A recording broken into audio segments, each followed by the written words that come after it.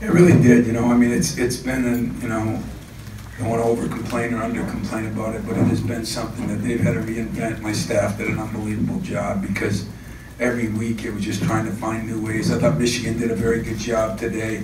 They changed up their ball screen defense. It took us a while to adjust to it. Um, great move on their part, and uh, but I think it was. Uh, I think it'll go down as one of the more special ones just because of the fact that it was the last game for a championship against, against your rival on senior night.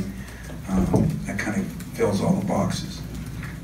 Tom, Well, it means that we had some guys step up because the guys that stepped up weren't as good as the two we lost. I mean, I'm not going to lie about it. Um, but uh, they just kind of rallied like a team, you know, like you're supposed to rally. I mean, you know, I don't want to get sappy, but every Michigan State alum should be proud of this team because to me they stood for everything our university stands for. You know, a blue collar place, land grant institution for everybody, and everybody helped in this win.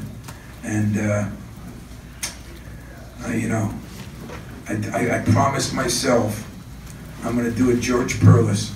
I'm going to enjoy this for a whole 24 hours.